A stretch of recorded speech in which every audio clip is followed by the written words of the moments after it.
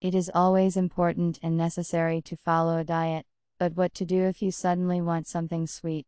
I propose to cook a delicious diet cake, made of cottage cheese and oatmeal with strawberry filling. I recommend it. In a deep container, mix oatmeal, strawberries, and egg.